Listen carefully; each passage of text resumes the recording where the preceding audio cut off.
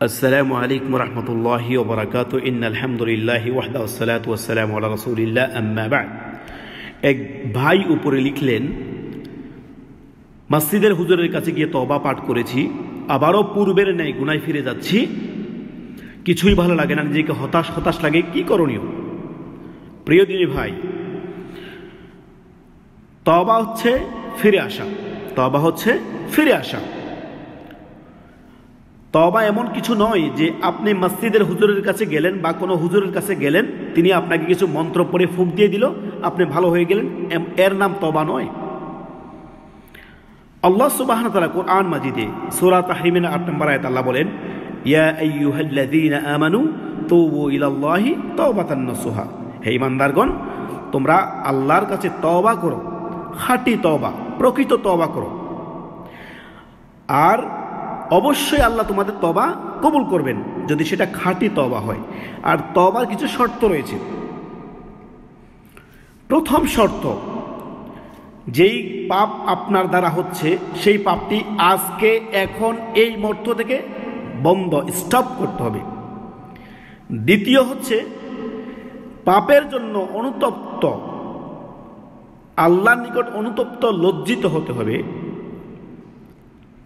তৃতীয় হচ্ছে, পুনরায় যাতে এই গুণা এই পাপ আর না হয়, সেই সংকল্প বা সংকল্পবদ্ধ হতে হবে। এর উপরে দৃঢ়, অর্থাৎ ইস্তেকামাত থাকতে হবে, স্থির থাকতে হবে। কোনো প্রকারে যাতে আপনার দ্বারা এই পাপ আর না হয়। এই তিনটি শর্ত অবশ্যই লক্ষণীয়। আল্লাহ সুহান তালা বলছেন, কোরআন মাজিদে সুরা নুহ, এর দশ নম্বর আয়াত আল্লাহ বলেন فقلت استغفروا إنه كان غفارا তোমরা আল্লাহর নিকট ক্ষমা চাও নিশ্চয় আল্লাহ ক্ষমাশীল পরম করুণাময় অতি দয়ালু মহান রব্বুল আলমিন আর নিজেকে পরিশুদ্ধি করো পাপের মধ্যে কেন ডুবে রয়েছ পরিশুদ্ধি করে ফিরে আসো বাস এখন থেকে এই মিনিট থেকে তুমি তবা করে ফিরে আসো আর এখানে একটি কথা বলে রাখা ভালো আপনার কাছে কিছু প্রশ্ন আমারও থেকে যাবে, পরবর্তীতে অবশ্য জানাবেন। পাঁচ ওক্ত সালাদ আপনার দৈনন্দিন, প্রতিদিন যদি না হয়ে থাকে, এর জন্য আরেক তবা লাগবে। তবা করে আজ থেকে এই মুহূর্ত, এই ওয়াক্ত থেকে আপনাকে তবা করে পাঁচ ওক্ত সালাতের পাবন্ধ হতে হবে। তার পাশাপাশি সুন্নতের আতেমা, বারো রাখাত সুন্নতের হেফাজত করবেন আর বেশি বেশি আল্লাহর জিকির আসকার করবেন। জিকির।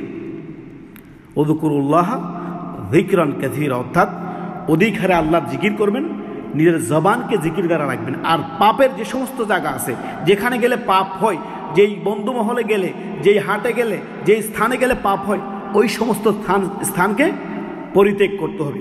যতই কষ্ট হোক, যতই কষ্ট হোক আপনার দ্বারা, যার সাথে গেলে বন্ধু, বান্ধবী, এই সমস্ত মহলে গেলে আপনার কি হয়? পাপ হচ্ছে, অতএব ওই সমস্ত মহলে যাওয়া যাবে না। তাদের এই সঙ্গ ত্যাগ করতে হবে। খারাপ সঙ্গীকে ত্যাগ করতে হবে আল্লাহ ভীরু দিনদার সঙ্গীকে গ্রহণ করতে হবে। বন্ধুদের মধ্য থেকে। নিজেকে পরিশুদ্ধি করতে হবে। আল্লাহ তালা কি বলেন?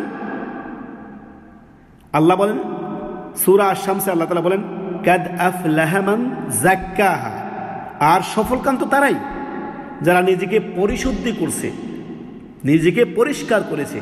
সমস্ত পাপাচার গুণা থেকে নিজেকে মুক্ত রেখেছে। তো আসুন, আর তার পাশাপাশি কি করুন? অধিক পরিমাণে নেক আমল বাড়ান নেক আমল বাড়ান। যত বেশি আপনি নেক আমল বাড়াবেন, নেকির কাজ বাড়াবেন, তত গুণা কমে আসবে। আর যত গুণা করবেন, অত নেকি কমে যাবে। খেয়াল রাখবেন কথাগুলো। আল্লাহ সুমান তালা কোরআন মাজিদে বলেন সুরাহুদের একশো চোদ্দ নম্বর আয়াত বলেন, ইন্নাল হাসানাতি ইয়ুহিবনা সৈয়াদ অর্থাৎ আপনার ভালো কাজ দ্বারা মন্দ কাজগুলোকে মিটিয়ে দেওয়া হয়, পাপগুলোকে মিটিয়ে দেওয়া হয়। অর্থাৎ বেশি বেশি করে ভালো কাজ, কল্যাণমূলক কাজ, দিনের কাজ করবেন। নিজেকে ইসলাহ, নাফসের বিরুদ্ধে আপনাকে দাঁড়াতে হবে। কুপ্রবৃত্তি থেকে, কামনা বাসনা থেকে দাঁড়াতে হবে। নাফস অনেক কিছু চাইবে। আমি নাফসের গোলামি করব না। অর্থাৎ আমি আল্লাহর গোলাম হব। শয়তানের কুমন্ত্রণার মধ্যে আমি পড়ব না। বেশি বেশি করে ইস্তেকফার করব, তওবা করব। এতে হবেটা কি? অন্তর পরিষ্কার থাকবে, অন্তরে প্রশান্তি আসবে। আর কোনো ক্রমেই হতাশ হওয়া যাবে না। আল্লাহ সুবহান তাআলা সূরা জুমারের 53 নম্বরে আল্লাহ বলেন হে আমার বান্দারা, যারা নিজেদের প্রতি জুলুম করে ফেলছো, লা মির রাহমাতিল্লাহ। তোমরা আল্লাহর রহমত থেকে কি করো না? নিরাশ হও না। ইন্নাল্লাহা ইন্নাহু আল্লাহু ঘোষণা করতেছেন, যারা নিজেদের প্রতি জুলুম করেছ, অত্যাচার করেছ, নিজের প্রতি অনেক অবিচার করেছ, তোমরা আল্লাহর কাছে ক্ষমা চাও। ফকুল তুস্তাক ফিরো ইন্নাহু গানা গাফারা আল্লাহ ক্ষমা করবেন, কিন্তু ক্ষমা বুখারিতে একটি এই মর্মে হাদিস রয়েছে যে বান্দা যখন তওবা করে বান্দা যখন আল্লাহ কাছে তওবা করে, আল্লাহ অনেক খুশি হন বান্দার তওবা দেখে। সুবহানাল্লাহ। সবচেয়ে বেশি খুশি হন আল্লাহ সুবহানাহু ওয়া তাআলা। মরুর প্রান্তে, মরুভূমিতে যদি ওটের রাখাল থেকে যদি একটা উঁট হারিয়ে যায়, যেটা ছিল তার সর্বশেষ সম্ভব, সে যখন ফিরে পায় যত খুশি হয়, এর চেয়েও আল্লাহ তালা বেশি খুশি হন। সুফহান আল্লাহ চিন্তা করেন, ওয়াল গফুর রাহিম। আল্লাহ চাচ্ছেন, আর তাওবাকে, আল্লাহর ভয়কে আপনার অ্যান্টিবায়োটিক হিসেবে গ্রহণ করুন। যখনই পাপ কাজ মনে আসবে, চিন্তা চেতনা আসবে বেশি বেশি করে স্তাক ফিরুল্লাহ স্তাক ফিরুল্লাহ স্তাক ফিরুল্লাহ বেশি বেশি করে তবা ইস্তেকবার করুন। এতে কি করবে? শয়তানের কুমন্ত্রণা কেটে যাবে।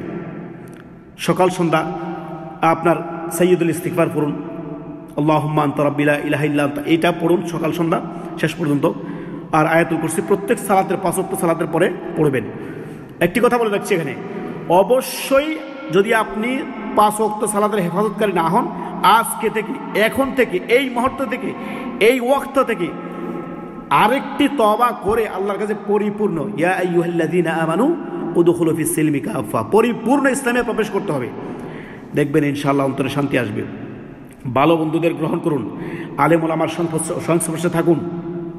যে কোনো বিষয় আপনার আলেম ওলামাকে জিজ্ঞাসা করুন। দিনই বিষয়, জানার বিষয়, তাদের বক্তব্য শুনুন। এখন তো অনেক সহজ।